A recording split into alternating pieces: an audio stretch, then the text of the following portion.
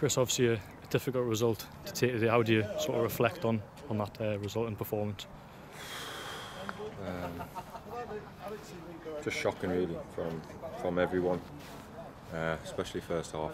Just got a quick goal, uh, whether it was luck or desire from Blackie, we're not really sure. But we've got we've got a great opportunity to start the game ahead, and then uh, before we knew it, we, were, we conceded four.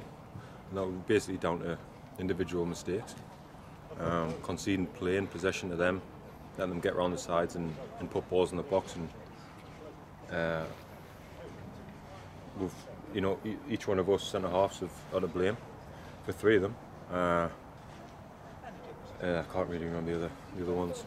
We'll have to watch them back, but we had to just try and get, get some pride back in the second half.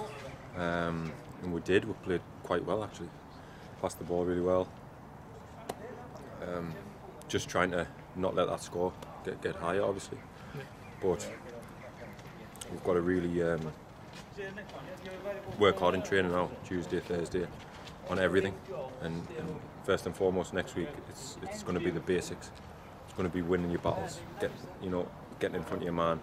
It's going to be if you're if you're a striker holding it up, if you're a midfielder keeping the ball, just going absolute back to basics because nobody wants to do that every week. Um, we have we do we, we are trying really hard. Um, I don't want to make excuses with, with you know the break and the COVID and the, this that and the other because some of them, the, most of the goals had nothing to do with, with any of that. Um, but we know that we knew we knew when it happened. Uh, small consolation is we did stop the rot a little bit second half. Um, showed that we can play in ten in ten men with three injuries, which didn't help. But but uh, we're going to be definitely not going to be doing that again. Yeah, certainly in the, the second half, going down to 10 minutes, it, it does show that it's not for a lack of effort. So. Well, we had two injuries straight away in the first half, two had to go off. Um, didn't help. We had chances, we had quite a few chances early on. Um, so loads to work on, not good enough.